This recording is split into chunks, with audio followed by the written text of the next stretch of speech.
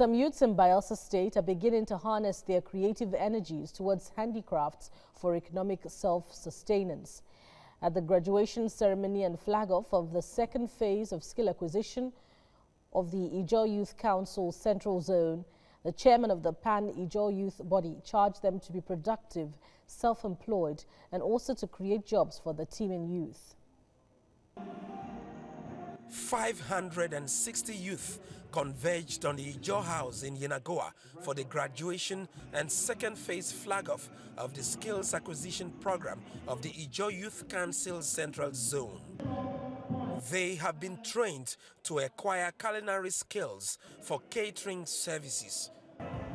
Fashion designing and bead making are some of the handicrafts on exhibition at the program. After now, just open a store and start up my own bead business. This cap I'm holding is a beaded cap made by me. And this for traditional marriage. The fascinator is made by me. The necklace, everything I'm putting on the earrings is made by me. I know how to bake cake, popcorn, salad, fried rice, and so many. I've never been to this before, but now I'm so very happy for what IYC have empowered to, to me and the rest of us. I've learned how to tie hair tie, how to make up, how to generally uh, make arrange bride. I want to say thank you to God Almighty for giving the IYC chairman this mind to set up this skill for us. The self-developing and skills-enhancing initiative of the Central Zone of the Pan-Ijaw Youth Body is aimed at dealing with social maladies.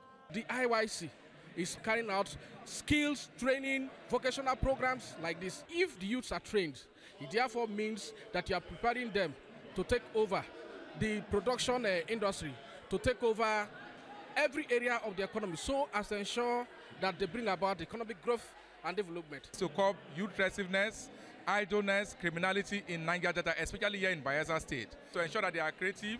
They have somebody has imparted knowledge on them. Their duty also is to ensure that they impact knowledge on others.